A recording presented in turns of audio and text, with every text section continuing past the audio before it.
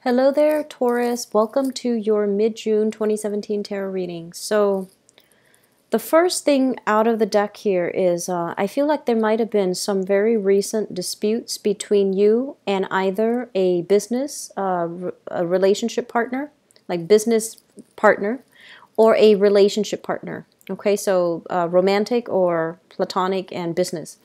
Um, what I feel here is there is a discrepancy here. There, there's something here indicating to me um, either discussions about somebody stepping out of the relationship, talking about to resolve conflict regarding accusations about somebody stepping out of the relationship or infidelity or just jealousy overall.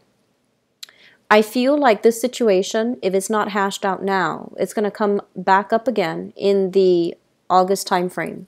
So it's very pertinent that you and your partner, your business partner or your relationship partner, tries to settle the score once and for all, and you know don't dr- uh, drag this back up in about two months' time, because I feel like um, hostilities are still a little bit ripe, and I feel that you you or your partner I feel like it's your partner hasn't really moved away from it. Okay.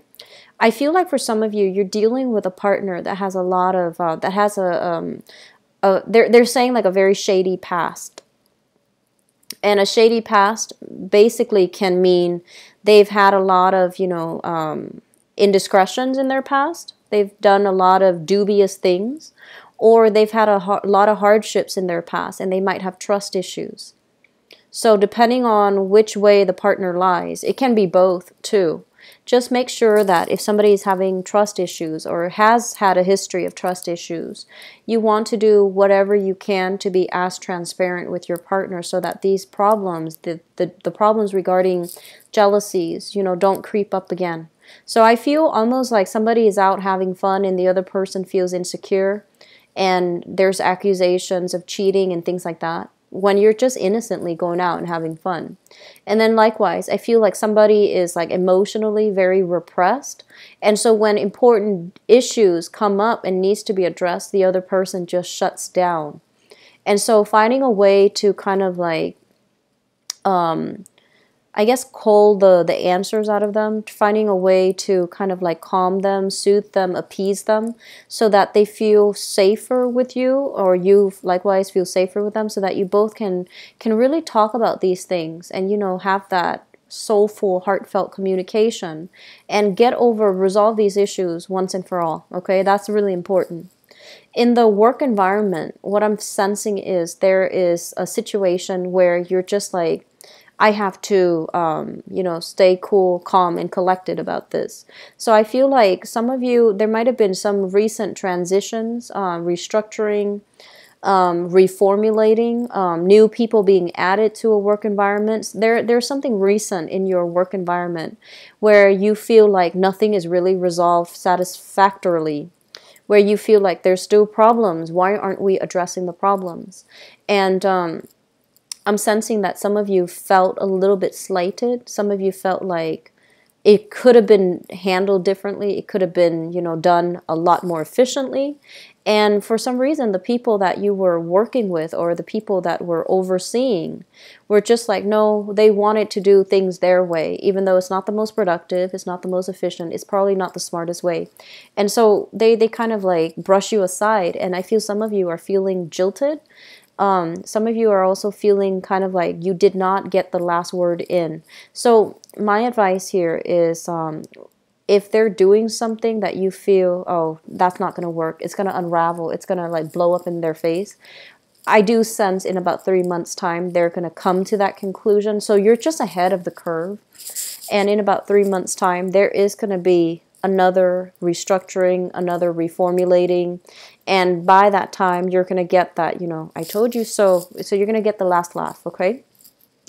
Um the other thing I'm feeling here is um, your housing situation, and this keeps coming up for you, um, Taurus. I, I don't know what's going on, but housing situation. Um,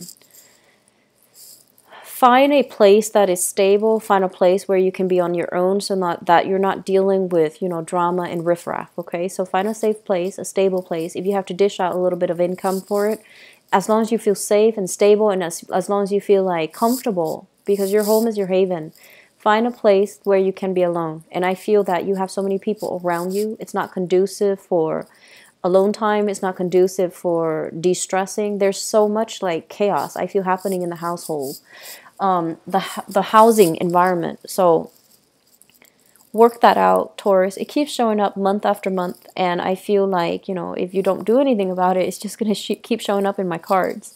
So if you can find a way to fix that, uh, please do.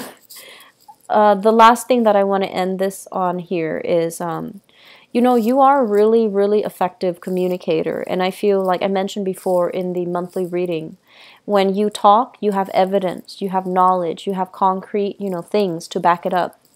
And um, so your communication is really not the problem. If you're telling somebody, you know, like you should do this because blah, blah, blah, ABC, and they're not really listening. They're just not ready. It has nothing to do with your ability to to to talk to them. So you can you can talk until you're blue in the face. You can try to lecture and um and and you can try to lecture as much as you want. If the other person is not ready they're not going to listen. They're not going to take heed. They're not going to take your advice. And so one of the things we want to be careful about and i mentioned this with sagittarius i believe we want to make sure um, that we, we want to be really aware of our audience okay and if reading, judging by body language and you know nonverbal cues, if the other person just doesn't want to hear it, don't waste your time, don't waste your breath. You might feel like you want them to steer them from some uh, misfortune by telling them you should do this, but you know they're going to do what they're going to do because it is their life. And so, one thing you want to be very careful about is um, offering advice unsolicited because I feel like the other person just doesn't is not ready to hear. They're not in a point in their life where they're able to heed the warnings, okay? Um, actually, one last message going back to the relationship. I feel like you have somebody that's coming and going, coming and going in your life. So I don't know if it's something circumstantial or if it's just their personality. They're kind of unreliable. I feel like it might be circumstantial because there seems to me to be some distance between you and them. I see in particular a fire sign. So this is a Sagittarius, an Aries, or a Leo. This is somebody that uh, created. There, there's some some um, harsh words thrown about between you and this person. Try to fix that. Okay, mend that relationship. Mend the the. Don't leave things on bad terms under any circumstances. Just, just try to mend things. Okay. I wish you the best. I'll be back for the uh, July reading. Take care.